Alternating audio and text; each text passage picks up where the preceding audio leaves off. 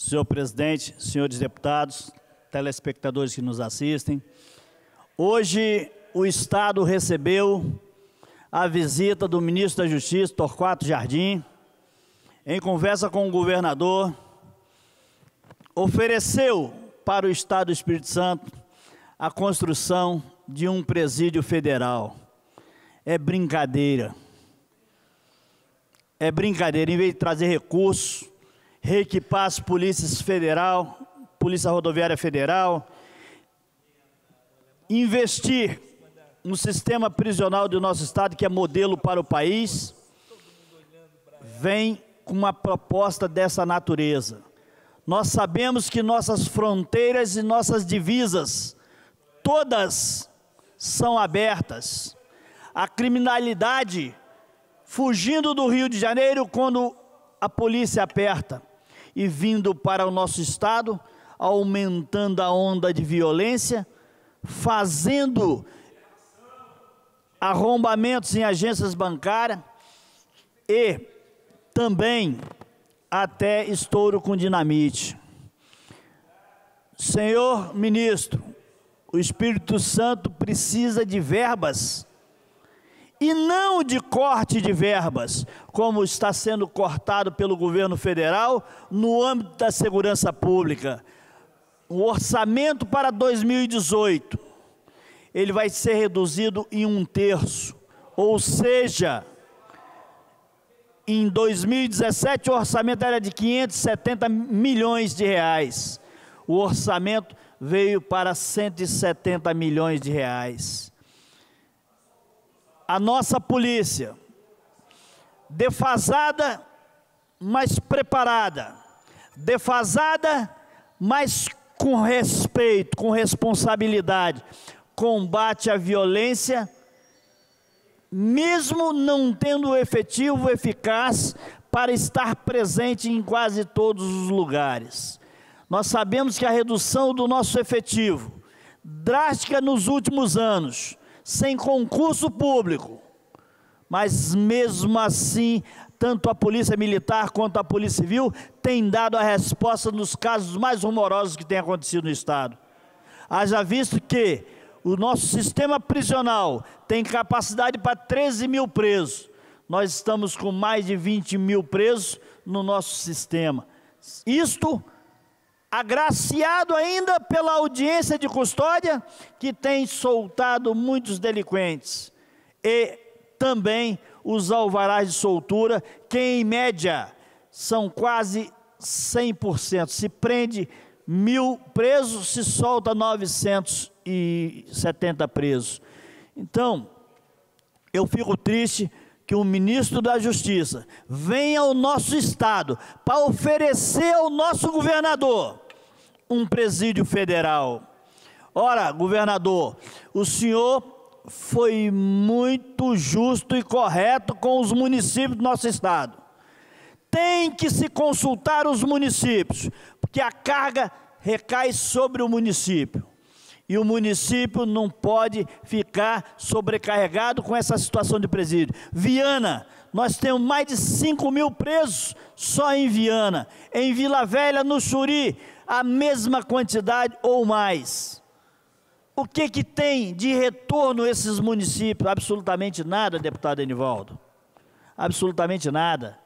Certo? Então aí vem o ministro da Justiça, ao invés de anunciar boas novas, não trocar o delegado diretor da Polícia Federal, e ele está querendo trocar para prejudicar a Operação Lava Jato, para prejudicar os trabalhos do Sérgio Moro, e aí vem aqui dar uma de bonzinho e oferecer para o nosso Estado um presídio federal.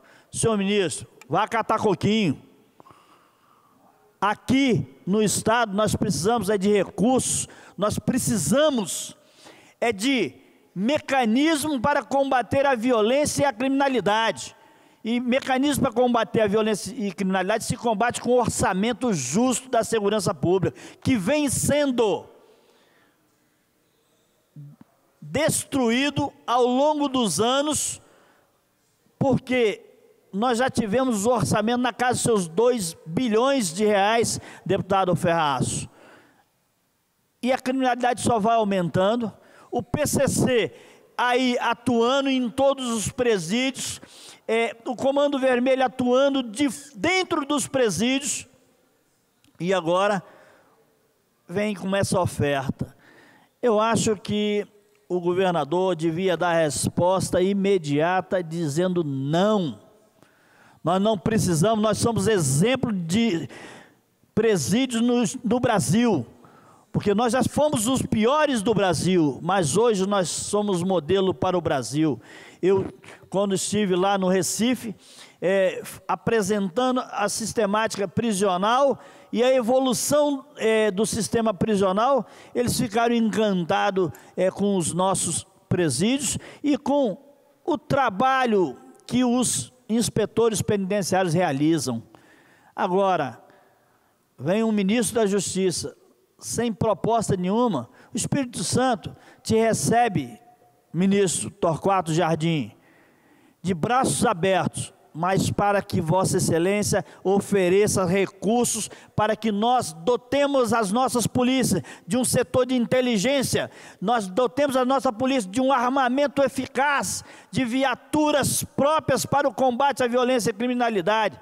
Aí sim, aí o senhor está colaborando com esse Estado. Aí Vossa Excelência está fazendo o papel de um ministro da Justiça, porque Infelizmente, os direitos humanos sempre, sempre estão para defender os jovens delinquentes, aqueles que no combate com a polícia saem em desvantagem, que vão fazer as denúncias, e aí o policial tem que responder a inquérito administrativo, a inquérito policial, responder a processo judicial, causando um verdadeiro desestímulo.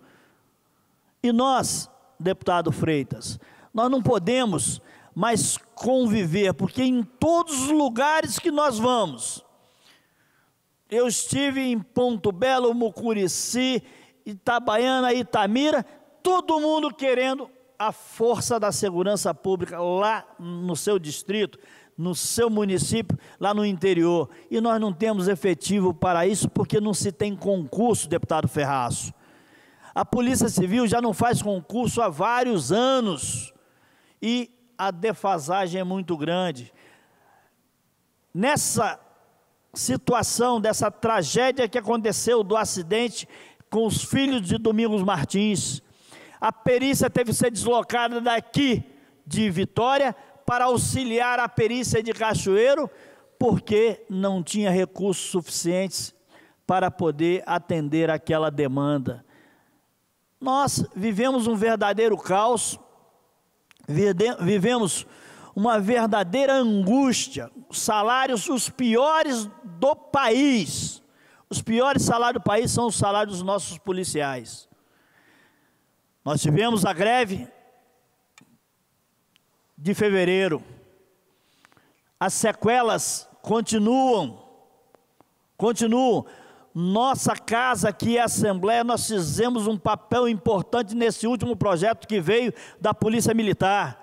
Nós conseguimos resgatar alguns direitos dos policiais militares e que hoje Associação dos Cabos Soldados, Sargentos Subtenentes e Bombeiros Militares, eles agradecem a nós, a todos os deputados, pela votação, pelas emendas apresentadas. Senhor governador, eu te peço, mais uma vez, não atenda a essa oferta, porque isso vai prejudicar o Estado do Espírito Santo e o município que for o premiado com esse prêmio maléfico que esse ministro da Justiça, de maneira descabida, de maneira ofensiva ao Estado do Espírito Santo, veio oferecer. Muito obrigado, senhor presidente, e Deus nos abençoe.